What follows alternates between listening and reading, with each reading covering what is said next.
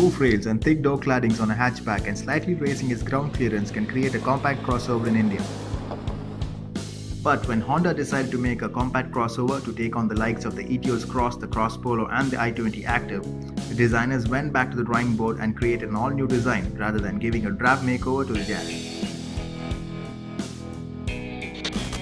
The Honda WRV is a crossover based on the Jazz but gets an impressive styling segment first features along with all the practicality and the goodness of the Jazz.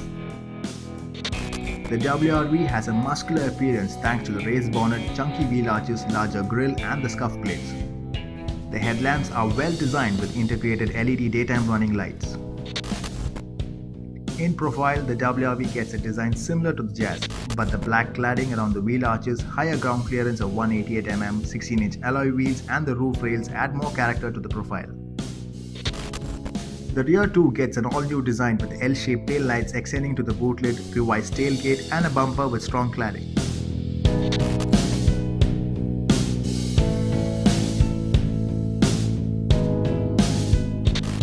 WRV also gets a new color called Premium Amber, a popular choice in the SUV segment. Step inside and the WRV is more spacious than it looks.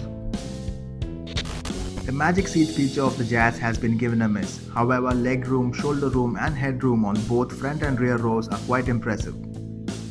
The boot is quite sizable at 363 liters and a lower loading lip and shorter tailgate that can be opened in tight spaces make it quite practical as well. Of course, the rear seat can be folded to create extra luggage space. The WRV truly impresses with the features on offer.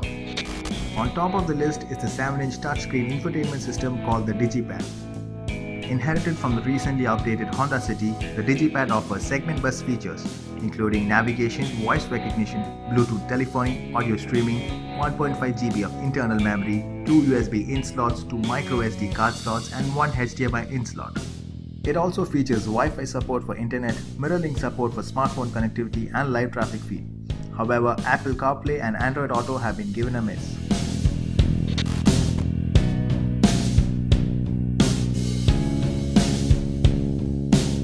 The rear view camera with normal, wide and top-down view comes in handy while reversing and parking in tight spaces. The top VX variant offers sunroof, cruise control and smart key with push start and stop button. Surprisingly, cruise control and push start button are available only on the diesel variant. The automatic air conditioning with touchpad looks and feels premium. Another pleasing feature is the push start stop button that glows in white color when the driver steps into the cabin and then turns red once pressed. The overall dashboard layout is reminiscent of the Jazz and the instrument cluster has been carried over as well. The driver gets a foldable cup holder in front of the AC vent that can keep the drink chilled or hold a smartphone. Aside from this, there are two cup holders, a glove pocket and bottle holders on all doors The center armrest can hold iPads and other devices which can be accessed via the infotainment system.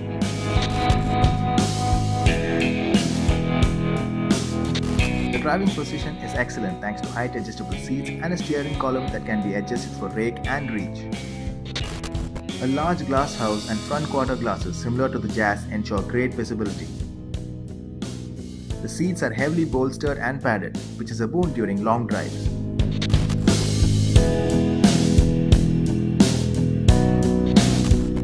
The WRV gets the same 1.2-litre petrol engine from the Jazz which delivers 90 HP of power and 110 Nm of torque and is mated to a 5-speed manual transmission. The initial power delivery is sufficient and the car performs well at slow speeds and urban conditions. However, the engine lacks the mid-range punch and you need to constantly shift gears to get going briskly. The rev-happy iVTEC engine delivers decent high RPM torque for relaxed cruise on the highways. Thanks to the light clutch and the superbly refined nature of the engine, driving the petrol WRV is effortless. The diesel variant gets the familiar 1.5-litre i-DTEC motor that churns out 100 bhp of power and 200 Nm of torque. This engine is mated to a 6-speed manual transmission. There is minimal turbo lag below 1800 rpm and the power delivery is very linear. The engine comes alive in the mid-range and you would be eager to push on. However, the gear ratios are tuned towards efficiency and the car would urge you to move up a gear. This engine is known to be noisy and the engine clatter intrudes into the cabin when revved hard. However, the overall NVH levels have improved on the WRV in comparison to the Jazz. Both engines return impressive mileage figures. The petrol returns 17.5 km to the liter and the diesel offers 25.5. The WRV's ground clearance has been raised to 188 mm, but surprisingly does not taken a toll on the car's handling. The WRV stays planted at high speeds with minimal body roll around curves. It might not be an astute handler, but owing to the new suspension, longer wheelbase and the wider 195 section tires, the ride feels quite predictable. The steering is stable and direct and offers great feedback. The ride quality is impressive as the car glides over rough roads and the petrol certainly feels more comfortable thanks to the superbly refined and quiet iVTEC engine. In terms of safety, the WRV gets ABS and dual airbags as standard. The compact crossover segment hasn't really flourished in India due to the lack of compelling products. The Honda WRV ticks all the right boxes to kick up a storm in this segment. Moreover, it has the potential to woo many customers in the compact SUV segment as well.